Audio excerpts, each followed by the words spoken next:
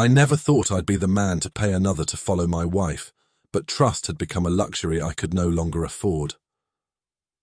I couldn't believe it, so I paid a man to follow my pregnant wife, walk down the dark alley of surveillance with me. Every shadow, every secret rendezvous, now documented by a stranger's lens, becomes part of the narrative that might just end us. Chapter 4 I couldn't believe it, so I paid a man to follow my pregnant wife. It was the kind of morning that had no right to be as ordinary as it was, with the birds chirping away like heralds of a day full of hope. Ironic, considering I was setting out to shatter any semblance of the life I had known.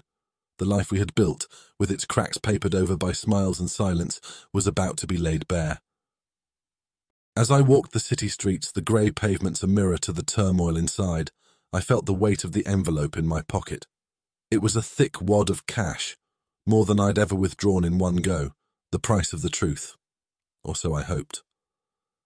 I was buying clarity, though part of me feared the cost would be far more than what I handed over to the private investigator. His office was the same as it had been just days before. Small, too warm, with a buzzing fluorescent light that seemed to flicker in time with my jittery heart. He looked up when I entered, his face giving nothing away. We've started the surveillance, he said, and those words felt like the first domino in a long line, the first step on a path there was no returning from. I couldn't believe it. Couldn't believe I was here, couldn't believe I was actually doing this. There was a surreal quality to it all, like I was an actor in some cheap daytime drama. But the script was my life, and the stakes couldn't be higher. I nodded, tried to appear nonchalant as if men like me did this every day. And?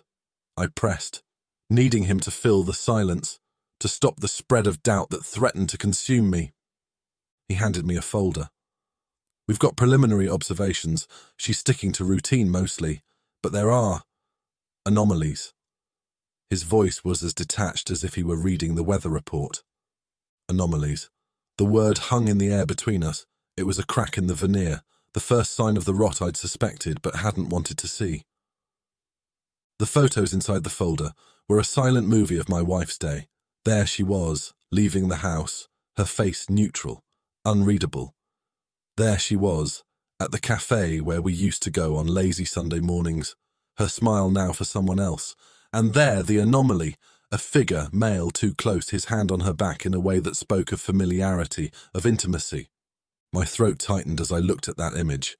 The private investigator was talking, something about continuing to monitor, to gather more evidence. But his voice was distant, a drone drowned out by the roaring in my ears. My wife, my beautiful lying wife with her secrets and her smiles that weren't for me. I was the fool, the man who had loved too blindly, trusted too deeply. I left his office with the folder, its contents a weight heavier than lead. I couldn't go to work, couldn't pretend that my world wasn't collapsing, so I walked, walked until the city was a blur and the people just part of the background noise. I couldn't believe it, but at the same time I could. The signs had been there, I just hadn't wanted to read them. But now, there was no escaping the truth that was unfolding before my very eyes. I sat on a park bench, the folder on my lap, a monument to my crumbling marriage.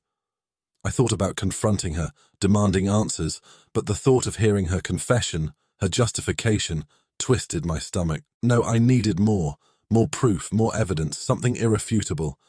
I needed to know everything before I shattered the illusion of our perfect life. The investigator would keep following her, keep watching, and I would wait, trapped in this limbo of knowing and not knowing, until I had everything I needed to finally face the life I thought I knew. The chapter of my life I thought I was writing had been a fiction, and the truth was a story I wasn't sure I was brave enough to read.